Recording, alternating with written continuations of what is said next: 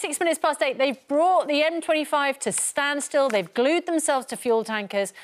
They've covered roads with fake blood, and it is all because they are demanding immediate action on climate change. But, as I'm sure you know now, new laws set out in yesterday's Queen's speech will give police a lot more power to curtail the activities of what have been called guerrilla protesters from groups like Extinction Rebellion, Insulate Britain, and Just Stop Oil.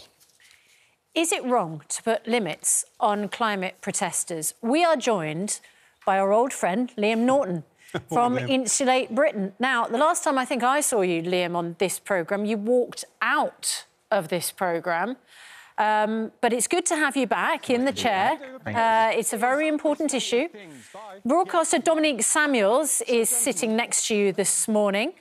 Um, and Dominique, you believe that police need to be able to tackle what you call eco-terrorism. Are you sitting next to an eco-terrorist? I am indeed sitting right. next to an eco-terrorist. A nice one, but an eco-terrorist all the same. So uh, Liam's a nice one when he's sitting here in the studio, not so nice when he's sitting in front of your car or gluing himself to your train. No, uh, it's completely you Normally chat to terrorists?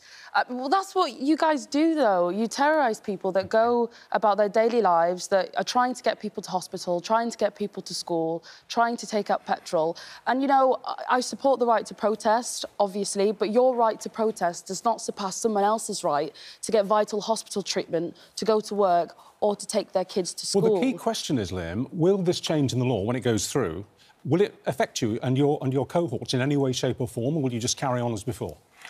I think what I'm here today to say to the government, to Priti Patel, is it changes nothing. Mm. And we're not in a state of protest. What we're doing here is non-violent civil resistance.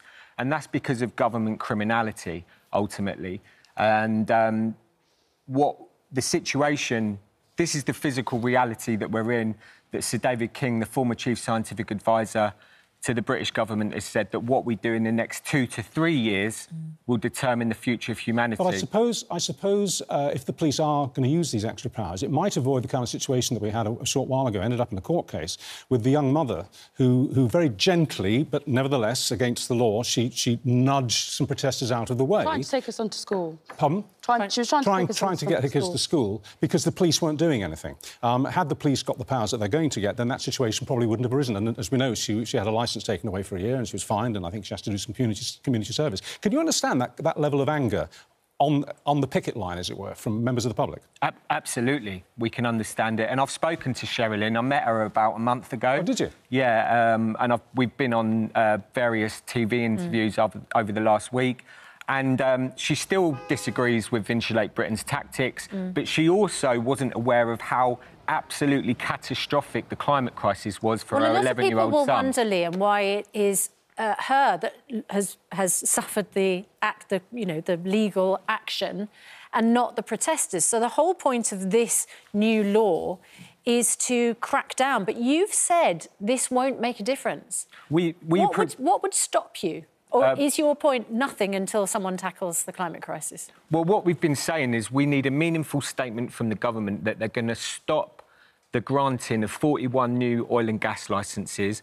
And we've been asking for a policy to insulate Britain, which, as we've seen, as we've gone into an energy crisis, the policies that Insulate Britain were calling for last year are now even more sensible today. They're not, though. And we're talking about reducing poverty for millions yeah. of people in the UK, and, and it's a no-brainer. I think everyone takes that point that Homes do need insulating, and it's been a problem in Britain for several years now. And when you don't insulate homes properly, the result is mm. is that it's obviously bad for the climate, and it's also more expensive for people to heat their homes. But it's completely unrealistic to suggest that we should just completely cut off um, the way we traditionally use energy because we don't have any alternatives but, at the moment. Dominique, what is... you will find is that people mm. will be in the cold and in the dark, specifically Dominique, older people. Just to it play, needs to be just to play devil's advocate for a moment, I mean, he would argue, and he'd have a point, that we wouldn't be talking about the need to insulate Britain at the level that we are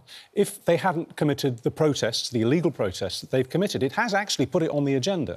It's put it on the agenda, but in a completely negative way, and it's because of the tactics tactics that you are indeed using. And this climate alarmism that is perpetuated by groups such as yourself isn't actually addressing the real issues. Because, in my opinion, I think the government is doing too much when it comes to tackling the green agenda. It's not addressing the individual costs this will have on UK households. It's not addressing the fact that, in terms of demand when it comes to the green agenda, we, we don't have the supply to match it. Mm. Over the next over the next 30 years, um, the green net zero will cost each household in the UK around £50,000 yeah. each. Liam, what are we doing to address that? Dominique claims to speak for the working class and the poor. I don't claim to speak for anyone. She, she, but unfortunately, what about the millions of people in India and Pakistan that are almost the heat levels are so bad that people are almost frying to death. Okay, Liam, interesting. Well, we've got sort of how. So, so you talk about we've climate, an expert so you talk climate. Let's talk, alarmism. Let's, oh, let's talk about the death. But people though, are people although, are at risk of dying. Hundreds of thousands. We have we actually have an expert on climate change sharply. in the studio in because the form of our own Laura. Uh, you can tell us about global temperature rising in, in, in, with reference to what he just said. Yeah, exactly. And actually, a report came out from the Met Office yesterday to say that we can, within the next five years, have a 50 50 chance of getting to one and a half degrees of warming. And that's the value we want to stay below. When the report came out in 2015, the chance of that happening was zero.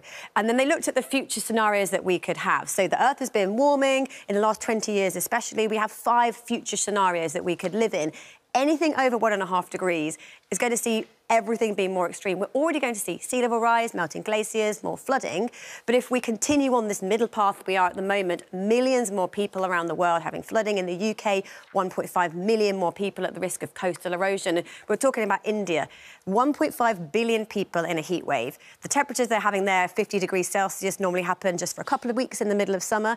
People have no water, they don't have energy to stay cool. It's devastated 50% of crops in some areas, which will affect food prices all around the world. And in the UK, we could, in the next 20 years, have 40 degrees Celsius. We've never reached that, and we will see similar things. We will run out of water, we will run out of energy, and it'll affect our crops. So it will affect millions more people. OK. Um, you, Liam, you're from Insulate Britain. Have you insulated your home yet? So I've currently got a £550 energy bill that I can't pay, like many Britons yeah. around the country. And what we're saying here the last time argument, we spoke to you, you hadn't what we're insulated saying with your this own argument home. Have you, is that have people, you insulated it yet? I'm, I'm, I'm, what we're saying here is that people in poverty can't afford to insulate their own homes. I don't have a lot of money. I don't own a home. I've never owned a home. I've been a tenant. I've been a social mm. housing tenant, and I've rented rooms have in you, London. Have you asked your uh, landlord to insulate your home? Well, it's whether I ask my landlord to, to do it or not. What we're talking about here is a mass insulation plan. Which is done only... home by home. But have you done your own? No. I'm, i I, can't afford to, can't to insulate my Yeah, I know, but, you, but your landlord presumably could. It's a ridiculous uh, perspective to have that it's like, so if somebody's in poverty and they're calling for people to not be in poverty. No, Are you calling being... them a hypocrite because no, they're asking I'm not calling you a hypocrite reduction? at all. I'm saying, have you asked your landlord, who presumably has more resources than you, and whose responsibility it might be? Um, at the moment, I haven't asked my landlord that, that question. Okay. Why, not, why, why, not? Why not? Um, well, it's it, it's not for me to sort of like demand from people. But you're um, demanding things... from people that are trying to get the kids to school, that are trying to get to hospitals. No, I'm not. We're you demanding are, that the government get on with the job. Sense. We're talking about a mass insulation plan, and and to be quite honest with you, journalists that are trying to um, regurgitate this idea of hypocrisy. As I've said, people that are in poverty, yeah. if they're calling for poverty be to be eradicated, are they a hypocrite for saying that we shouldn't have but poverty Liam, you're in prepared country? to sit in front of a car in order to make your point, but you're not prepared to have a conversation with your landlord. The reason why people are sat on the roads is because of the physical reality that we've just heard that this isn't and and, and people like yeah. Dominique okay. talk about climate alarmism. There is and, even and we're in this situation even where 1.5 billion people are at risk of, even, of, of yeah. death. But you're from even, Insulate Britain, Liam. I mean, it's it's a very simple point. Anyway, look, we can speak to a government minister about this. We can.